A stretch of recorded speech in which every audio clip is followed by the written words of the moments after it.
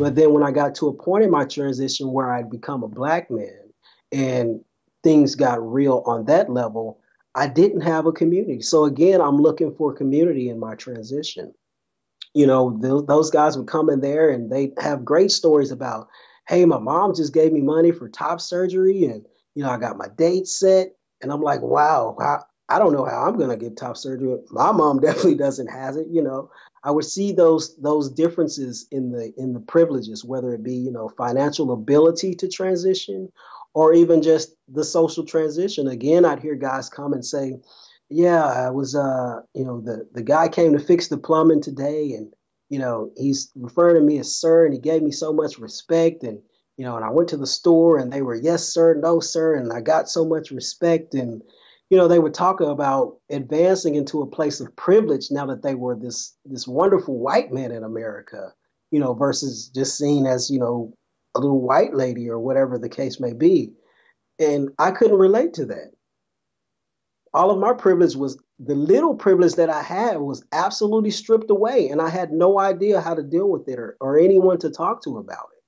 You know, I could talk to other my my other male friends who were cisgender black men, about, man, this is, you know, messed up. Have you endured this or what do you do in that case?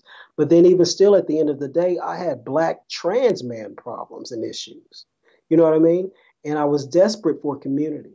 And so that's that's when Black Transmen Inc. pretty much was founded. In 2011, I got on Facebook.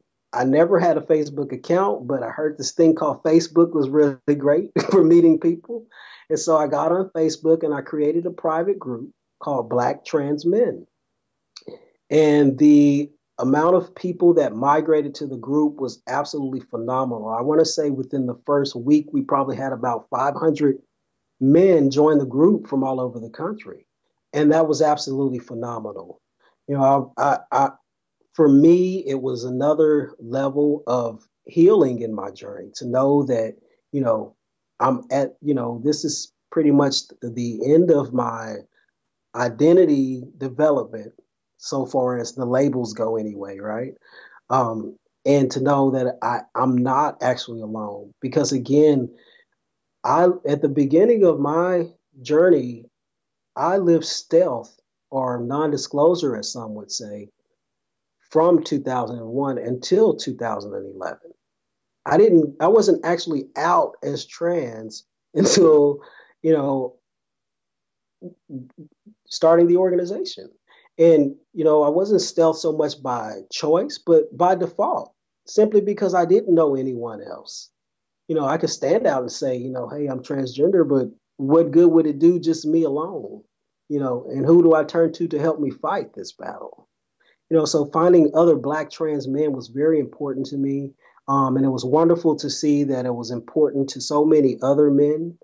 Um, and the the um, the community and the unity that was displayed uh, from creating that group has been you know profoundly impactful for generations to come um, and we decided to blossom from social media group or you know social media support into to forming an actual organization.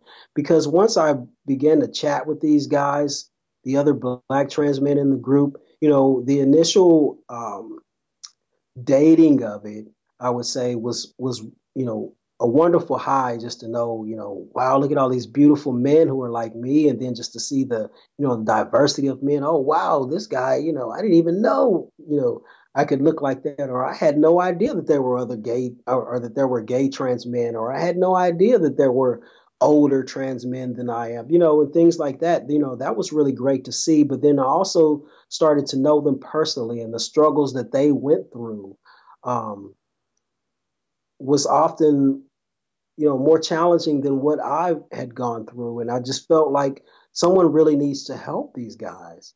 Um, you know, they're they're not only going through the same things that I'm going through, but other things. And, and, you know, we're all having a hard time finding community. We're all having a hard time connecting to those resources.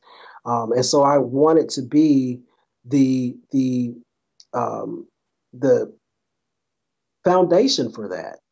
You know, I wanted to be the foundation for connecting Black trans people and empowering them with self pride and self acceptance. I wanted to be the person to, or the organization that can connect them with the resources that are trustworthy because we've actually, you know, um, spoken with whoever we're connecting them with, whether it be a medical provider or, or you know, even just someone to mentor them.